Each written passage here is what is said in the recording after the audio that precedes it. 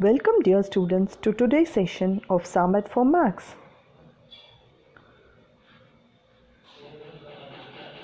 Subscribe to the channel and press the bell icon for further notifications. Let's get started. In today's session, we have a problem. Find the LCM and GCD for the following and verify that f of x into g of x is equal to LCM into GCD. So here we have f of x as x cube minus 1 into x plus 1 and g of x is x cube plus 1. Now let us factorize each of the polynomials. x cube minus 1 can be expanded as x minus 1 into x squared plus x plus 1. And we have x plus 1 in f of x. In g of x we have x cube plus 1 which can be expanded as x plus 1 into x squared minus x plus 1. Now let us write the GCD and LCM of these two polynomials.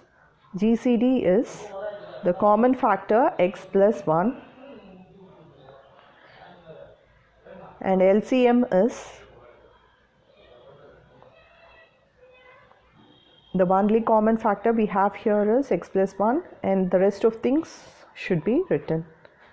So we'll have x plus 1 into x minus 1 into x squared plus x plus 1 into x squared minus x plus 1.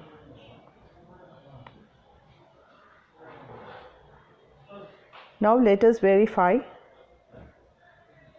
if f of x into g of x is equal to LCM into GCD.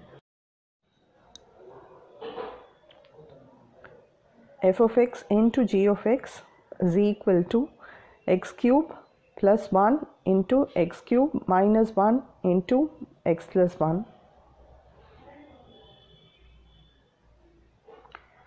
and LCM into GCD is x plus 1 into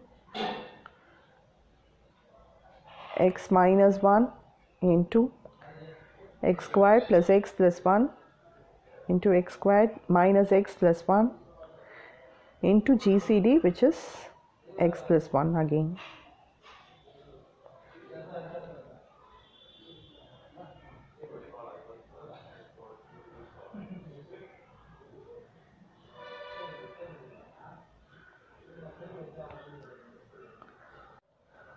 Now our RHS will become x cube minus 1 into x cube plus 1 into x plus 1.